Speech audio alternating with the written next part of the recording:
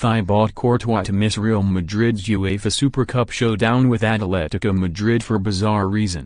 Thibaut Courtois will reportedly miss Real Madrid's UEFA Super Cup clash against Atletico Madrid because he has not been registered. The keeper was expected to make his debut for his new club following his pound £35 million switch to the Bernabeu from Chelsea. However, it appears Courtois will be forced to wait for his first outing in a Real Madrid shirt.